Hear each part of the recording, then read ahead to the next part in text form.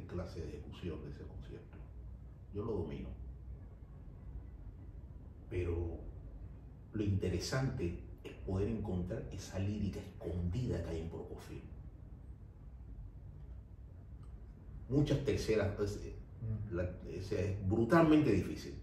O sea, no nos pensemos ahí si tú, si tú no puedes tocar la séptima, la octava, la novena, no, porque la hora es lo mismo.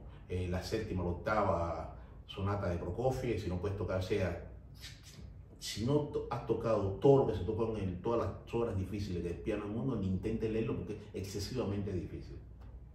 Pero, hay, pero lo interesante es encontrar la lírica de Prokofiev.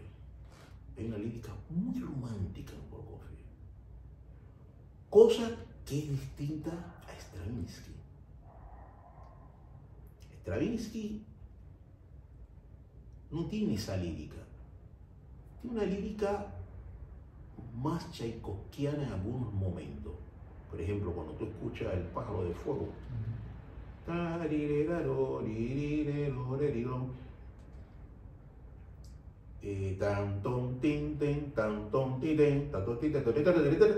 Eh. Tú escuchas la versión de piano del italiano. La golpea muchísimo, le cae patadas y piedradas que bueno, y, y rompe el oído. Técnicamente la toca muy bien, pero lamentablemente, pero cuando, pero si tú escuchas, empiezas a escuchar, tú, tú una lírica muy, muy.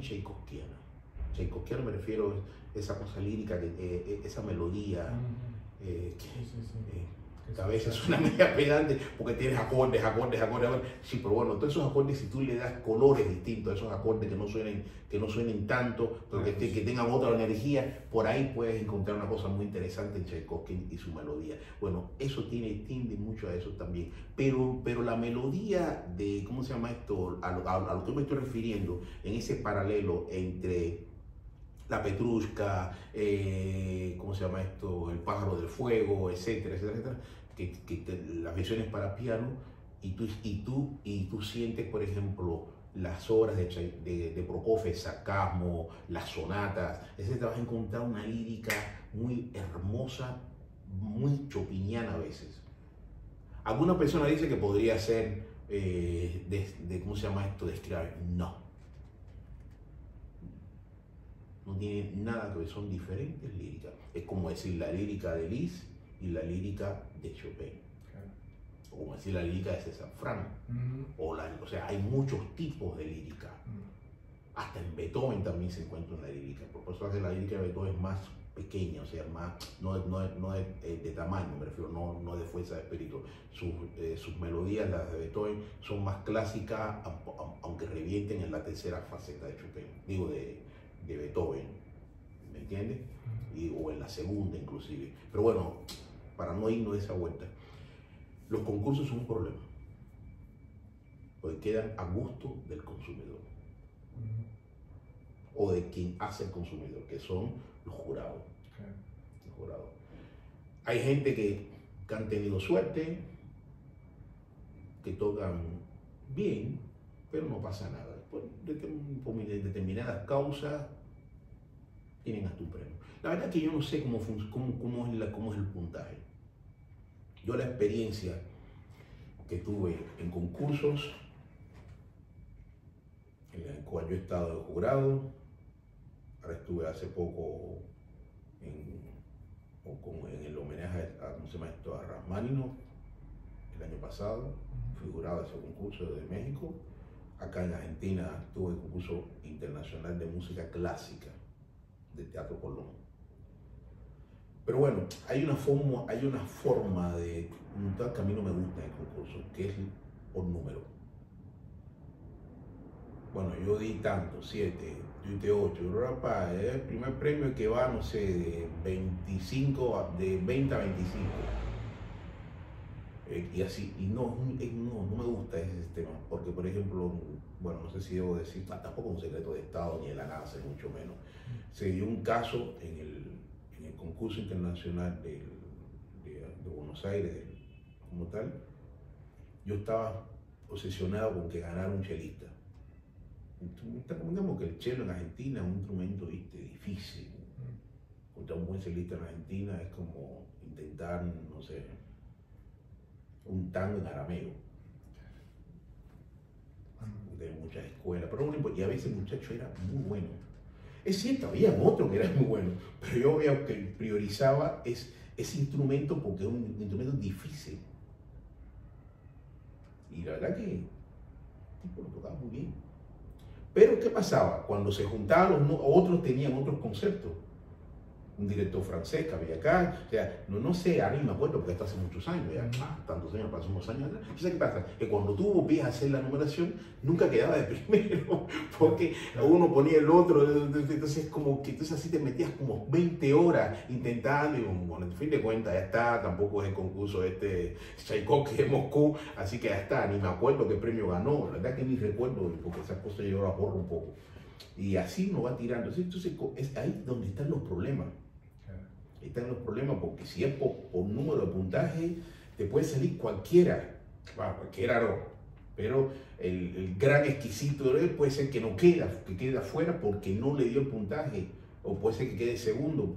Eh, no sé, es muy complicado todo eso, es complicado. Yo, por ejemplo, lo que sí siento es que, que hasta ahora ese concurso, al igual que los grandes concursos de piano, más allá de, de un desliz, de que dice, bueno, casi siempre todo el mundo que ha ganado el Rey Isabel de Bélgica, por ejemplo, el Tchaikovsky, el Montreal, por ahí quizás van quedando en el camino aquellos que no fueron los grandes líderes. Puede ser. Pero lo que sí te aseguro que en ese concurso todo el que ganó, toca. Para mí, el mejor pianista que ganó ese mundo fue yo. Para mi criterio, desde el punto, yo hablo desde el punto de vista de la ciencia musical, de la, de la, de la ideología pianística de cómo se tiene que tocar ese compositor. Para mí fue John. Obviamente, deben haber otros grandes, Polini. Pasa que Polini era, como te repito, era otro tipo de pianista. Había que ver también todos los que fueron detrás de él. La verdad que no, no tengo la menor idea. Que nace también otro tipo de pianista. Bunin, el pianista ruso también, el otro, o sea, el Trifono, bueno, es lo más cercano que, podías, que podía ser chupiniano, pero él toca todo con una mentalidad chupiniana. Por ejemplo, ahí te das cuenta, mm. ahí te das cuenta. Cuando tú le escuchas a él, por ejemplo, yo hace poco me obsesioné, bueno, aquí lo aprendí, yo conozco la partitura, pero nunca la toqué, no sé por qué, de las variaciones Chopin de Rachmaninoff. Mm. Me parecían que eran medias pesadas Pesada me refiero, no sé, esto es un, la gente dice un plomo, esto es un plomo. Entonces yo tocaba las otras, eh, o sea, tocar, me refiero, en concierto mío me obsesionaba mucho con, la, con las Corelli. Ah, sí, sí, con las variaciones Corelli.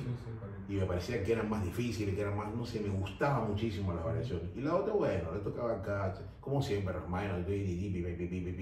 más, más como, como se decía en Cuba o en cualquier parte del mundo. Esto es más más película, más rollo que película. Y después, con los años, empecé a escucharla, escuché a escucharla. Ah, porque creo que el año pasado eh, todo se dedicó mucho a Chopin. Y entonces dije, bueno, ya está. Yo voy a hacer un programa de Chopin donde eh, quiero tocar cosas nuevas. ¿Nuevas de qué sea todo bueno, no, yo toda la música de Chopin la conozco la toqué. No toda la he tocado porque, bueno, por la, me refiero, toda la he toqueteado. Y, y, la verdad que sí, he tocado casi todo lo de Chopin incluyendo más, menos el bolero. hay una música que no son eh, escocesa, no, no, no, estoy para eso.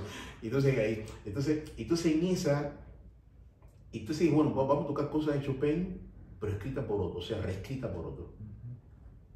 Y me acordé de la, ¿cómo se llama esto? De las variaciones de Chopin de las manos redescubrir en realidad. Todo eso que le llamaba más, bulla, más, rollo que película, era bellísimo también, pero obviamente en, en la lógica de Rachmaninoff. Y, empecé a buscar ahí, te digo que obviamente la que más me gustó fue la de Richter. Richter es muy apasionada, muy apasionada, y también está, eh, y la de Trifono también era muy buena, muy linda muy linda, esa es la palabra, linda. linda. No me gusta ver los dedos, me parece que a veces como que están bailando Petrushka, o como se llama esto. Pero bueno, pero está ahí, pero suena, suena, es un gran pianista. Así que bueno, El concurso de Chopin me parece que es un concurso difícil por, eso, por, lo que te hablo. Y también está el de Beethoven. Eh, porque, y por, bueno, el tema, yo siempre digo, al final, todo lo que tenga que ver con, un, con una especialización es difícil. Porque te tienes que olvidar del resto. Y no